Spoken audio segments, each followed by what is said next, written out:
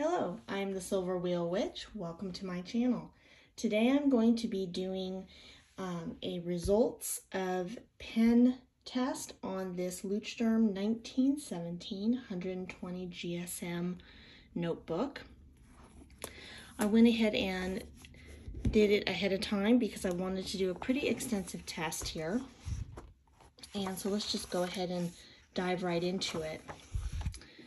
The first inks I used on this page here are all of my bulletproof, waterproof, fade proof, super inks, archival inks that I plan on using inside the other copy of this journal I have that is lined for my journal.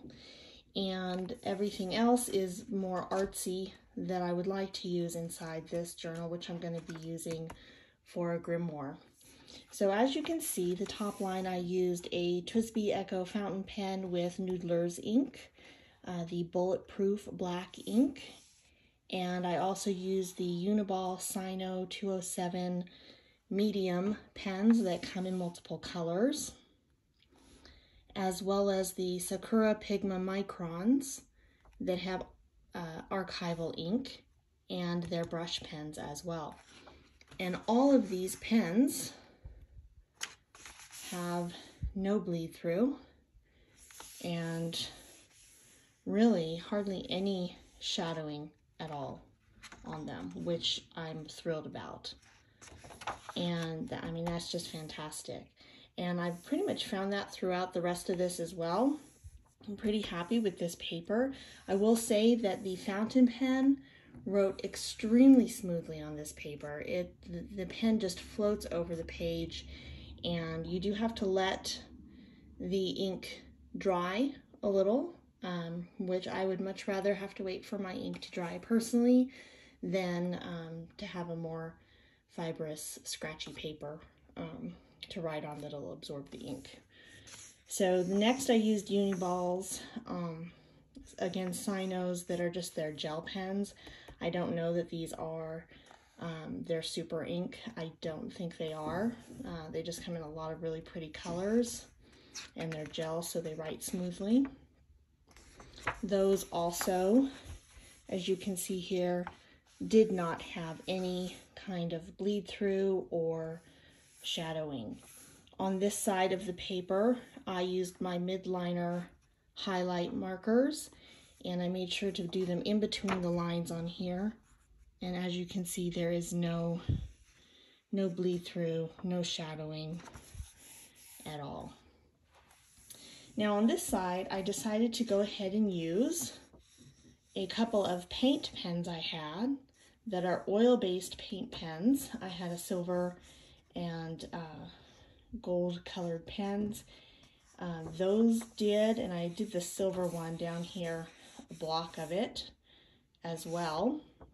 And those do have some shadowing. No bleed through, but a little bit of shadowing on the other side. And I used a couple random other um, highlighters and pens that I had laying around. Um, and those didn't bleed through either. Just some shadowing with the oil-based pens.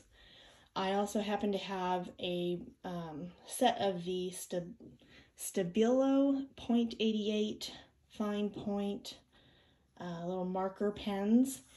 And those did as you can see have a little bit of shadowing on here but no bleed through. And I don't mind the shadowing really when the paper is flat. It's not it's not too much shadowing. I mean you can tell something's on the other side of the page but it doesn't really overpower what's on the page you're looking at. Now, I did the Sharpie test. I used every color I had in both ultrafine and fine point because I wanted to really see how the Sharpies held up on this paper because I have seen a lot of pen tests on all the various different 160 GSM papers out there and a lot of them bled through. Um, so I was really curious. And as you can see, it has some pretty strong shadowing for most of it, but only in areas where, I mean, I really went over these a lot of times.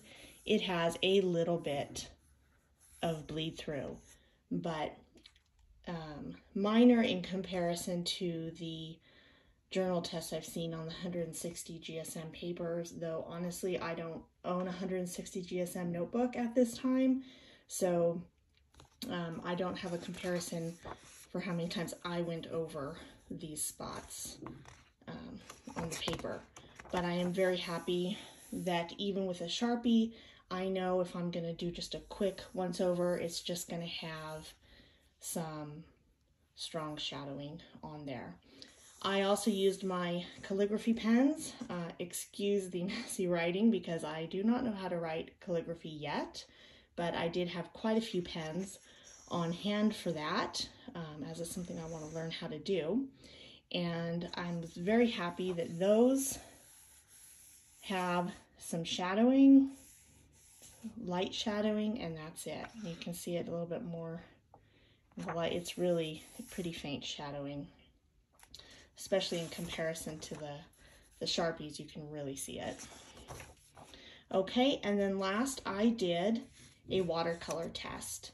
Um, I was, I used a lot of water on these and tried to really saturate the paper to see uh, how it would turn out. And then additionally, I did this spiral here and I did it over again to kind of really do layers on top of layers of the watercolor and as I pretty much expected, the paper got really wrinkly. I mean, it's not intended for watercolors, but I was very surprised that I had literally no bleed through at all on this paper with the watercolor, even though I used a ton of water on there.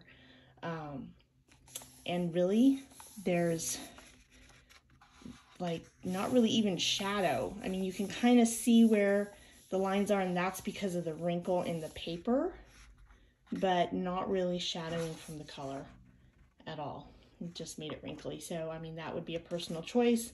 I probably will not use any watercolor in this grimoire. If I do, it'll probably be a little, yeah, we'll see what happens. But um, just some wrinkly paper there and that's that's it I used everything I had on hand to try and really test this paper out and all in all the only thing that actually had bleed through with multiple passes over the same spot was the Sharpies and not that much bleed through. Um, and the Sharpie again was the one with the strongest shadow. Everything else that shadowed was pretty faint. You can tell something's on the other side, but it doesn't really impose on the page you're looking at if you were to have something else on it. And there you have it, the pen test for the Leuchtturm 1917 120 GSM paper.